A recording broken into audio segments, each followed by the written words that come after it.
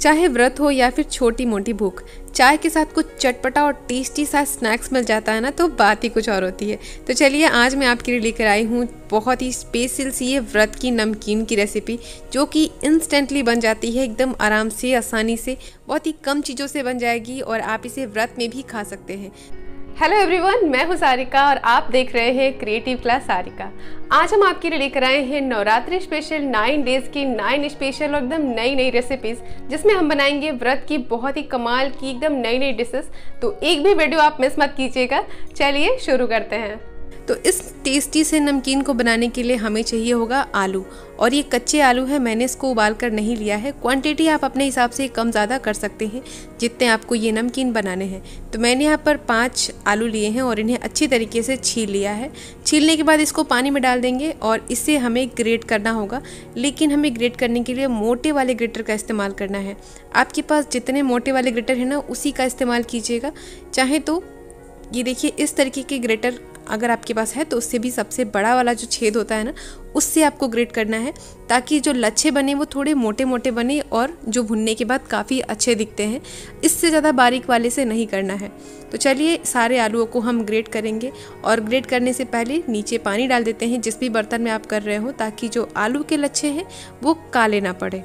तो यहाँ पर नॉर्मल पानी डाल सकते हैं या फिर फ्रिज का ठंडा पानी भी डाल सकते हैं। तो चलिए सारे आलूओं को हम ग्रेट कर लेते हैं। मैं आपको हर एक स्टेप पर दिखाऊँगी कि आपको आलू के लच्छे कितने मोटे होने चाहिए तो आपकी नमकीन काफ़ी अच्छी बनेगी। तो बहुत ही केयरफुली आपको ग्रेट करना है। तो ये देखिए, सारे आलू लगभग हमें ग्रेट करके इसी तरीके से लेना है। मैं आपको लच्छे दिखा देती हूँ, ये देखिए। देखिए, बहुत ज़्यादा मोटे भी नहीं हैं और बहुत पतले भी नहीं हैं। अगर आप इससे भी थोड़ा मोटा कर लें तो भी चलेगा, लेकिन इससे ज़्यादा पतला आप बिल्कुल मत कीजिएगा। तो देखिए, लच्छे हमारे ऐसे ही होने चाहिए। चलिए, सारे आलूओं को हम इसी तरीके से बहुत ही ध्यान से कद्दूकस कर लेंगे। हाथों में ना लगे, इस चीज़ का आपको ख्याल रखना है। तो यहाँ देखिए, मैंने सारे आलूओं को ग्रेट कर लिया है, लेकिन इसका जो पानी है ना, देखिए, स्टार्च वाला पानी, इसको हमें हटाना होगा। तो यहाँ पर जो आलू के लच्छे हैं, इनको हम दो तीन बार साफ़ पानी से धो लेंगे। और यहाँ देखिए मैंने यहाँ पर आलूओं को बढ़िया से धो लिया है। आलू में स्टार्च बिल्कुल भी नहीं होने चाहिए। अगर थोड़ा भी स्टार्च रहता है ना तो आपकी जो आलू की लच्छे बनेंगे, वो अच्छी तरीके से क्रिस्प नहीं बनेंगे। तो देखिए बिल्कुल क्लियर पानी होने तक हमने इसको वॉश कर लिया है। अब लेंगे यहाँ पर कोई भी मोटा सा टॉवल ले लीजिए या फिर सूती बेडशीट वगैरह ले सकते हैं, जिसमें आप ये आलू के लच्छों को अच्छी तरीके से फैलाएँगे।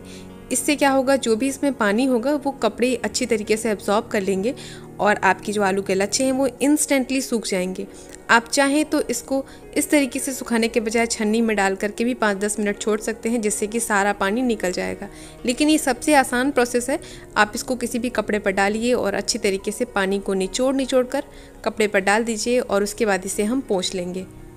और देखेंगे कि बहुत ही आसानी से ये सूख जाएँगे। कुछ भी आपको इसे पंखे के नीचे या धूप में नहीं रखना है, तुरंत ही आप इसको पोछिए और फटाफट से हम इसको बनाएँगे। और इन आलू के लच्छों को पोछ लेने से अगर आप इनको गरम गरम तेल में डालेंगे जब तलते समय तो ये ऊपर उड़ के नहीं आएँगे और बहुत ही आसानी से तल भी जाएँगे। तो देख सकते हैं, आलू के लच्छे अच्छी तरीके से ड्राई हो चुके हैं, बिल्कुल भी पानी नहीं रह गया है इनके ऊपर। ये देख सकते हैं। अब आप चाहें तो इनको फ्रिज में स्टोर कर सकते हैं जेपलॉक बैग में रख के और जब आपको खाना हो, आप इन्हें तल सकते हैं। या फिर अगर आपको आलू के चिप्स बनाने हो तो बस काटने का तरीका चेंज कीजिए और सारा प्रोसेस आपको सेम तरीके से करना है। बस आप उसी तरीके से आलू के चिप्स भी बना सकते हैं इंस्टेंटली जो एकदम मिनटों में बन जाते हैं ना, वो वाले। कोई भी धूप में सुखाने की ज़रूरत नहीं पड़ेगी और जब आपको चिप्स खाना हो, आप खा सकते हैं। तो देखिए, लच्छे तैयार है, चलिए इनको तल लेते हैं। तो तलने के लिए यहाँ पर तेल गर्म होने रख दिया है मैंने। इसमें हम डालेंगे थोड़े से पीनट्स क्योंकि हम नमकीन बना रहे हैं। तो यहाँ पर मूंगफली के दाने मैंने चौथाई कप के आसपास लिए हैं। और इनको हम गरम गरम तेल में डाल देंगे। आप चाहें तो इस तरीके से फ्राई करने के बजाय आप तवे पर भी थोड़ा सा सेक कर या रोस्ट करके भी ले सकते हैं मूंगफली के दानों को। लेकिन हमने तेल गरम कर ही लिया था तो सोचा लगे हाँ तो मूँगफली के दानों को भी भून ही लेते हैं। तो देखिए मूंगफली के दाने अच्छी तरीके से सुनहरे हो गए हैं। इनको हम निकाल लेंगे किचन टावल पे ताकि जो एक्स्ट्रा ऑयल है वो निकल जाए। और दाने अच्छे से भुन गए हैं। अब हम फ्लेम को बिल्कुल हाई ही रखेंगे और इसी में हम ये लच्छे डालते जाएँगे। लेकिन एक बार में बहुत ज़्यादा मत डालिएगा, उतना डालिएगा जितना कि आपकी कढ़ाई में आ जाए और इसे हम बीच बीच में इस तरीके से हिलाते रहेंगे। इस लच्छों को डालते ही आप देखेंगे कि इतने सारे बबल्स आने लगे हैं और ये झाग तब तक रहेंगे जब तक कि आपके आलू के लच्छे बढ़िया से क्रिस्प नहीं हो जाते करारे नहीं हो जाते।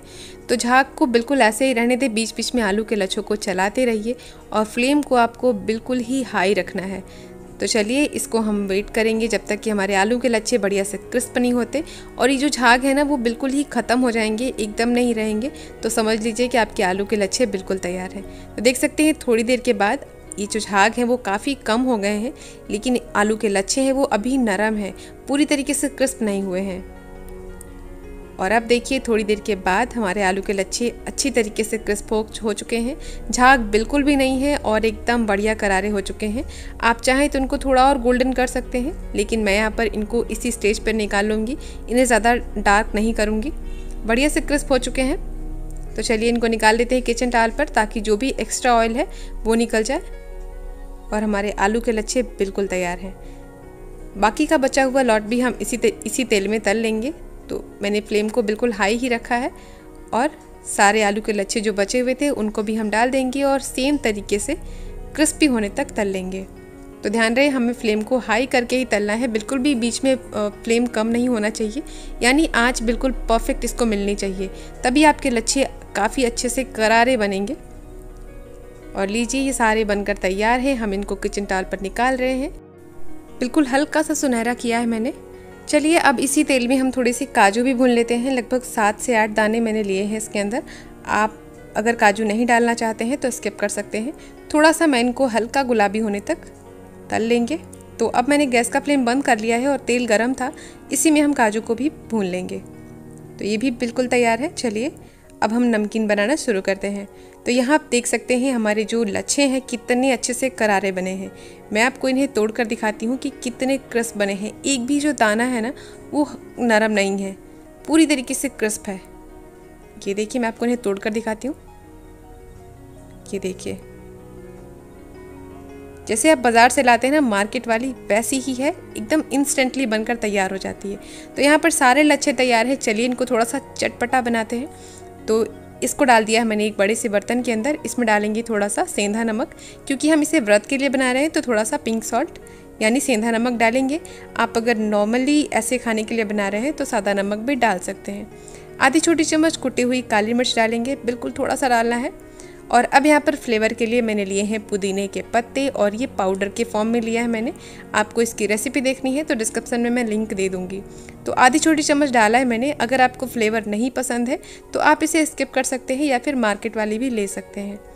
चलिए आप इसमें डाल देंगे हमारे काजू और भुनी हुई मूँगफली। तो अपनी आवश्यकता के अनुसार कम ज़्यादा ये कर सकते हैं। और ये हमारी नमकीन का मिक्सचर बिल्कुल तैयार है। इसको मिला लेते हैं अच्छे से।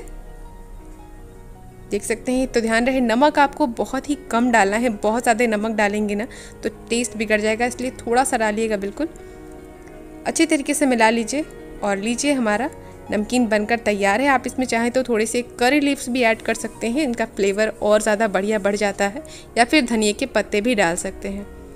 तो नमकीन हमारी बिल्कुल तैयार है व्रत के लिए, आप इसको एक बार बनाइए, पूरे नौ दिन तक चलेगा, एकदम बढ़िया। और इसको खाने से आप बोर भी नहीं होंगे, बहुत ज़्यादा मज़ेदार लगती है।